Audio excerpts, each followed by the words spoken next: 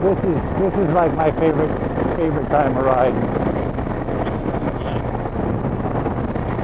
It's like cool cool breeze, man. Look at that look at that shit. Nah, just every everywhere you look.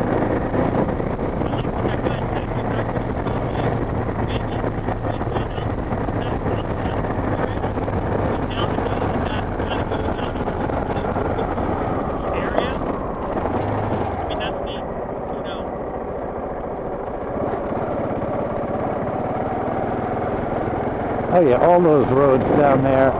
Jeep Trail's the most gnarliest of them all.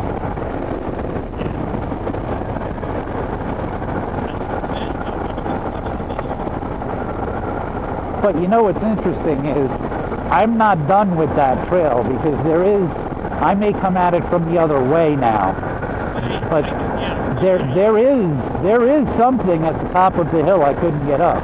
It doesn't end. It goes into almost it's really funny on the OsmAnd map.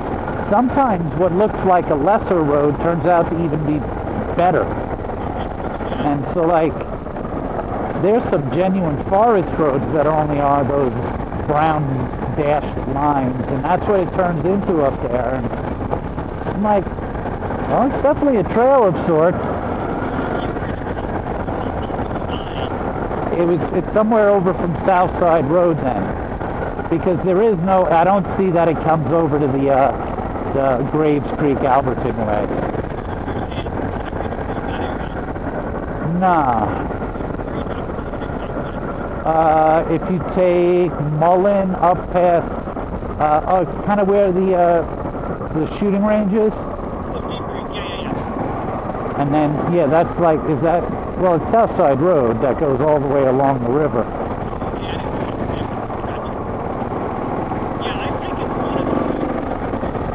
Oh, that's the one me and you rode.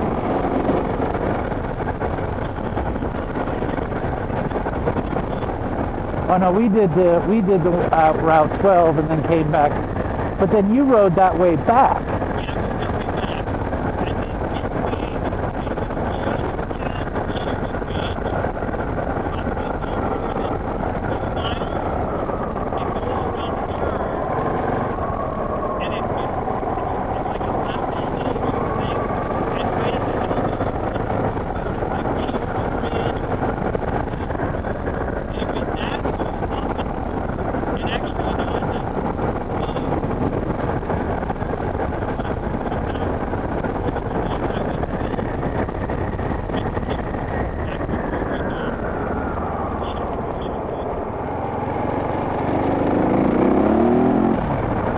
Hell yeah, that tire just bites.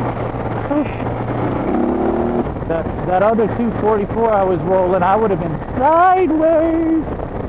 Yeah, I was power sliding everything. And any throttle on this kind of stuff, I was like, wee, wee.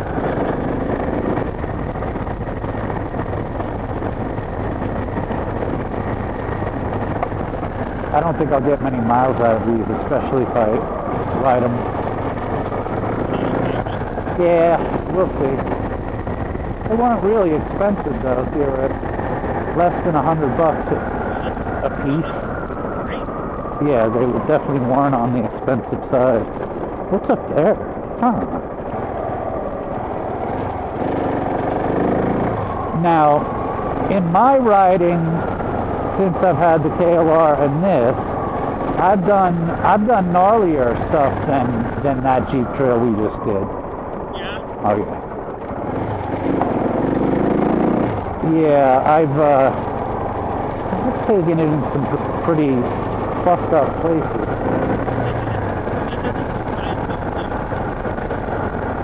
Like I, I don't want to say this this Blue Mountain single track.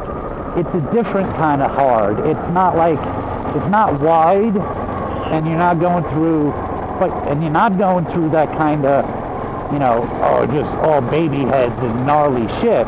But it's a single track, it's narrower, and you go around uh, basically switchbacks, and they're extremely cambered.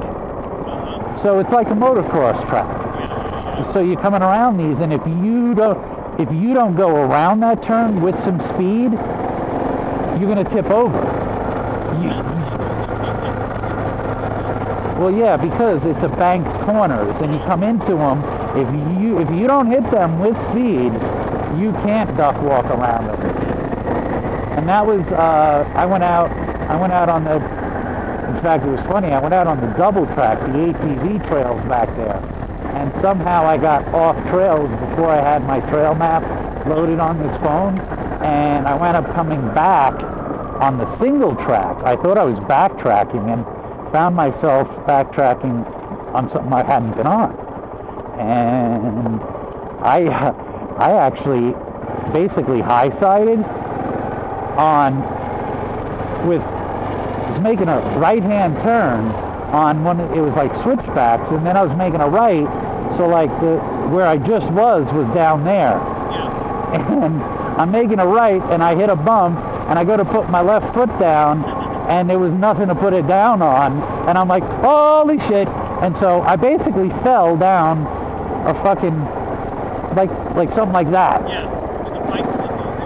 No, it was, it was, well, funny, but, so like, I knew I was going down. Right. So what I did was I kind of pushed backwards off the bike. Yeah, yeah, And so I, I went like this and sent the bike in front of me. Yeah. and I started to go down, made one little half roll, and there was a tree there.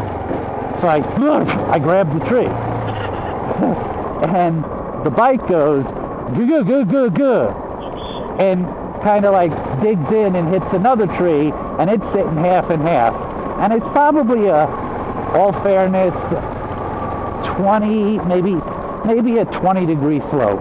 Yeah, wow, yeah. Hey, so what do you think that hill was that we went up with, with the double section? Oh, uh, you mean degree?